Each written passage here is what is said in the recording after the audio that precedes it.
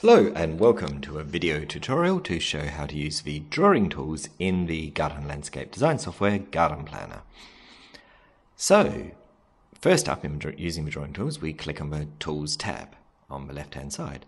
That shows you all the different drawing tools we have for garden beds, walls and fences, paving, paths, pools, ponds, gravel and stone.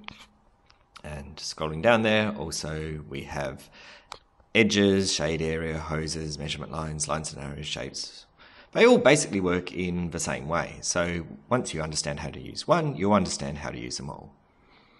Let's begin by choosing which tool we want to use, which is the garden beds. Click on that icon and we've selected garden beds. Now the first thing to do is select what style of garden bed we want by clicking on the style button you'll see a range of options there that you can scroll through. Lots of different kinds of lawns, garden beds, ground cover. Um, but we'll just go with a basic lawn here. Okay, next you have the different ways of drawing out it. Drawing with straight lines, or um, which is the simplest option to use, drawing curved, drawing shapes, squares, circles, or rounded square, or just freehand drawing. And we'll go through all of those. But let's start first with the straight lines. So click on that and then move the mouse over to the grid.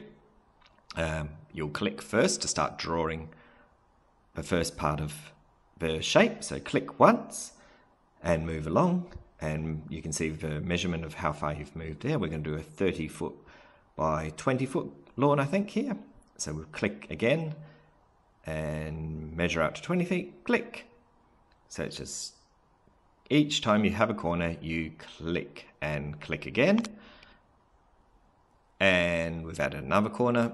And lastly, click back at the end. Or double click, sorry, at the end. And there, it's finished. You've created a lawn.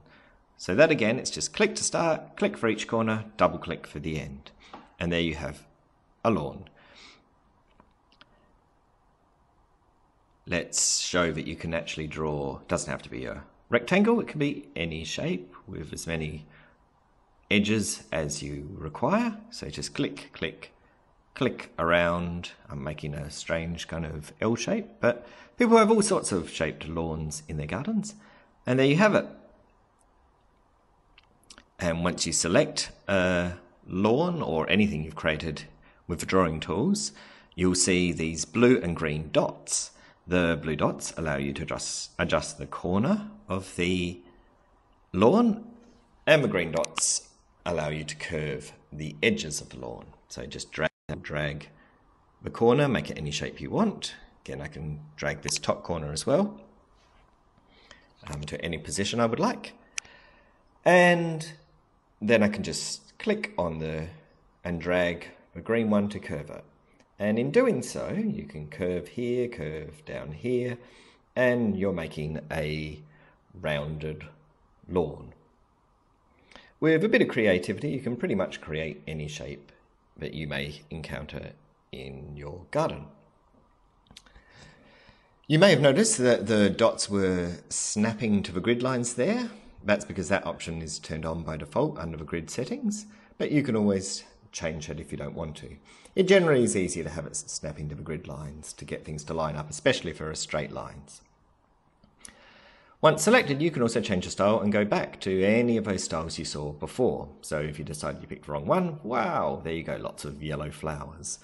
Um, you can, of course, change that from different colour to yellow, and there's other types of lawn, garden bed, um, bark chips, ground cover, those sort of things. There's some ground cover uh, sort of sticks and bark chips. So let's go back to a lawn. That one there has an edging. And we'll move into looking at the other um, drawing methods. Again, the one you'll most commonly use is one on the left, the straight line one, but there's the curved one. This one works by basically curving from the first point you click on and round and round. So it makes each curve based on the last point that you clicked on it will work fairly well, but sometimes I tend to find that the easier option is to draw a with the straight lines and then curve the lines myself. You can also draw a shape, draw out a square, and delete that, or we can just as easily choose the circle option to draw a circle or oval, and I'll just delete that. And the other one was rounded corners square. And this is freehand, which is just squiggle away with your mouse and get what kind of mess you want. But there are situations where that can be useful. Okay, now let's have a look at, well, I'd say that the paving and the pools and ponds and gravel and stone, etc., all work in exactly the same way as the garden beds. I can give you an example with the pools. Um, here we go, click again to get started, click for each corner, and finally double click to end, and voila, we have a pool. And we can, as before, I'll just move the properties window out of the way there. We can change the style to any of those, any of the styles we have for pools. So you don't have to get it right, or you don't have to pick the right style at the start because you can always change it around. Um, some of them have edging, some of them don't. Uh, it suits whatever needs you want. And but let's have a look at the walls and fences because they work just a little bit differently, as do paths and edging. Because instead of drawing a field shape, you're going to just draw um, something that's based on a series of lines. So in this case, we draw out the same kind of rectangle as we did with a pool, but it's just a fence. And you can curve and adjust the edges and all those sort of things exactly the same as you do with the garden beds. Uh, and obviously move it around. Um, change the style to any style you want. Uh, the settings options there will also allow you to change the thickness and spacing of the posts. Um, paths work in the same way. There we go. We've just drawn uh, well, a strange kind of diagonal path.